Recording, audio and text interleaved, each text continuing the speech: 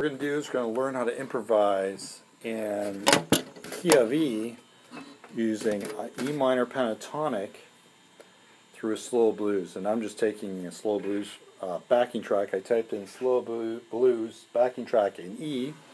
First thing that came up. now, how to play an E minor pentatonic, just for review. Uh, these are just exercises to help you get used to. If you've never soloed before, this is a great way to learn how to solo.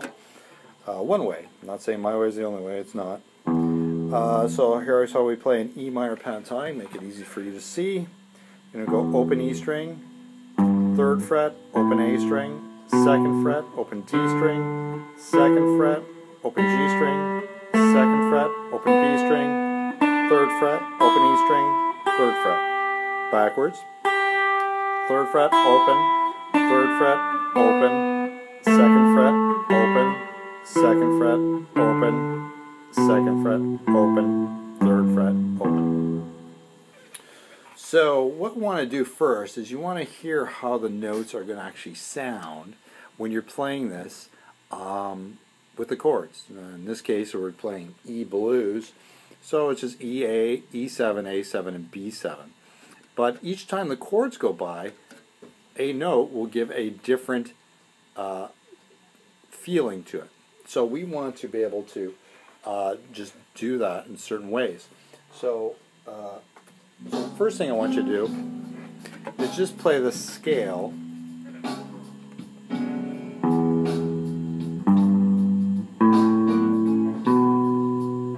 through the chord progression.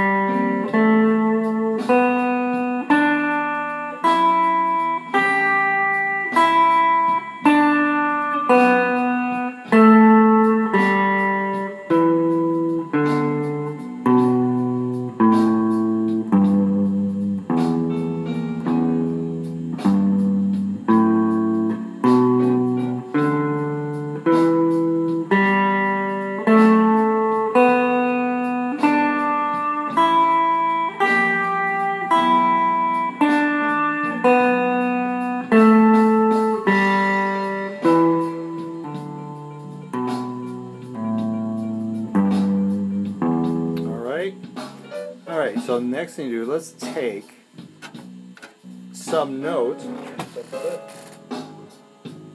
of the E minor pentatonic scale. We'll create a motif. And a motif is a relatively short melodic figure, so we're going to go, our motif is going to go, let me shut this off for a second. We're going to go 3 on the high E string, open high E string, third fret, on the B string, and then a whole open E string. We have. And so we're going to just make a re repeated kind of motif doing that. It doesn't seem like much, but when the chords are going by, we can do that. So this is what we do. Alright, so we'll go.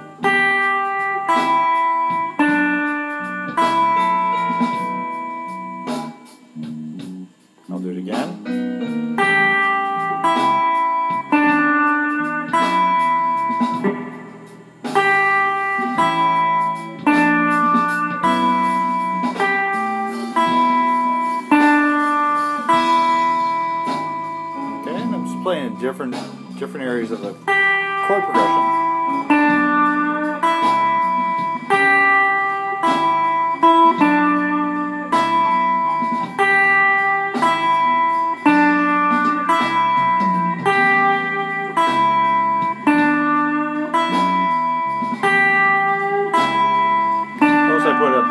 Bend on that third fret.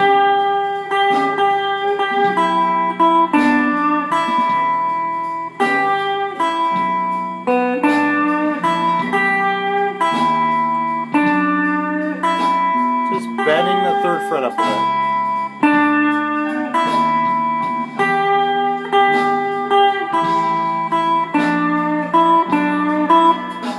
Another thing you can do is you go to the third fret on the B string and it up a bit and then play the open first string. Okay, right there. So I can go.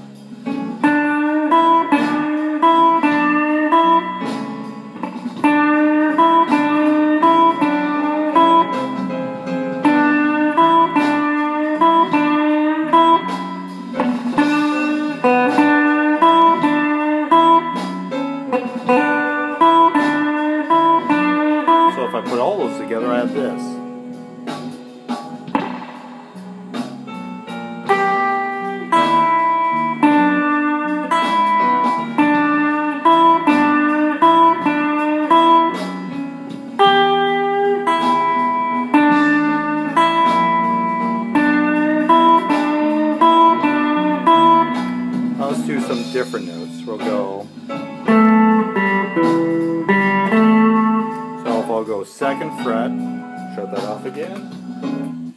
Second fret on the G string, open G. Second fret on the D string, and then open D, and then second fret on D. So we have. Again, it's all the notes from the E minor pentatonic scale, but I'm going. So we get to put it through our chord progression.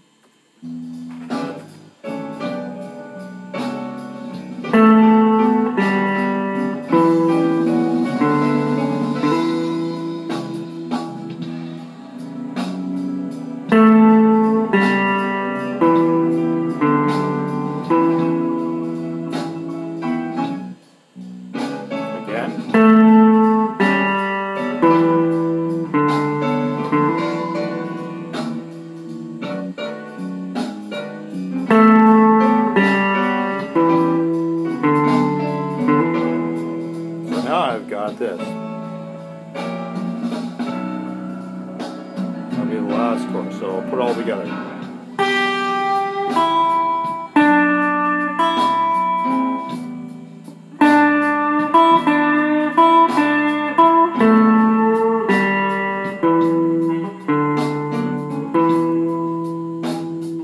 Again.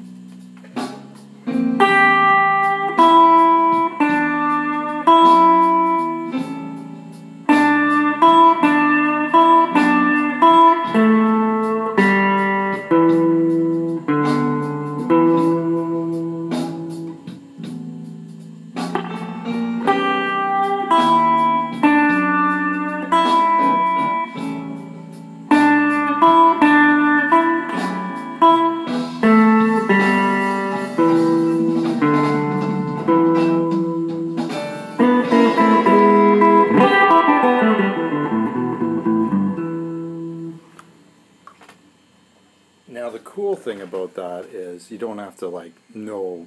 I mean, all those notes work through the E minor, E minor pentatonic. All the notes work through that, so it's a great way to learn how to solo. And you don't have to play a lot of notes. You just have to play those those notes, those licks I showed you. So again, I'll just review it. You're gonna go third fret on the thin string, open, third fret on the B string, and then open E string, the thin string. And then the other lick was third fret on the B string, open, third fret on the B string, open. And then the other lick was second fret on the G string, open G, uh, open D string, then second fret. Something like that, if I remember. Sorry. Second fret on the G string, open, second fret on the G string, open D. And invent your own. Like take some, take three or four notes and just make a melody out of it. The thing with the blues, it's all about um, question and answer, call and response. Okay, and you have a question, or it might be, and the response might be. And